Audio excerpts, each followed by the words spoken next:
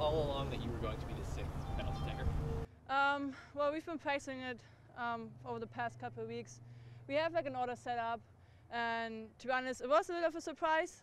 Um, but in the end, you know, it doesn't matter what taker and what number song everybody makes it, and I'm just happy I was was able to finish it for us. What was your first thought when you saw the ball hit the back of the net? Um, honestly, I didn't have any thoughts. I think it was more like relief, happiness, um, just all the pressures going away. I think that was just amazing. Did you feel nervous with some pressure when you were coming up to the ball? Actually, not at all. You know, having that pressure taken off from the ball taker missing, um, I was no. I know I can trust myself. I know that I practiced it before, and you know, it was just a matter of finishing it.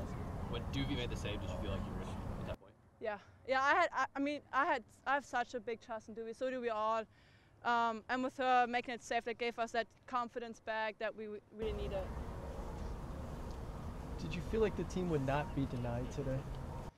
No, I mean there was at some point when Ball State scored. I mean they Ball State played an incredible game. They really pushed us high, um, but you know we, we were able to manage it, and just again we found a way to win, and I think that's all, in the end all that matters.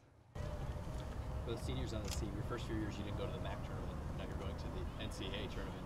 Yeah. What is that like to be able to finish your career with going to the NCAA tournament? It's it's incredible. I'm- I actually like um, I can't really put in words. Just having that experience of not winning a game to now winning the MAC tournament regular season to um, and going to the NCAA. It's it's incredible. Like such a such a journey, and I think especially for us seniors, just knowing where where we were and now where we at, it's incredible. What's made the difference in the last four years for this team to have so much growth?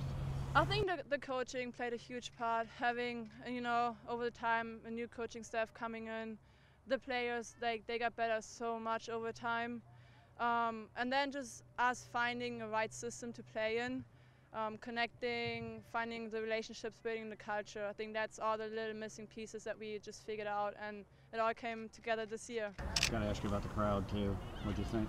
That was incredible. It was amazing. You know, ha- having the tournament at home and then having I don't even know how many how many fans out here on our side supporting us all game long, and then even staying all the way up into overtime, and then for the PKs, it's it's breathtaking. Really, goosebumps.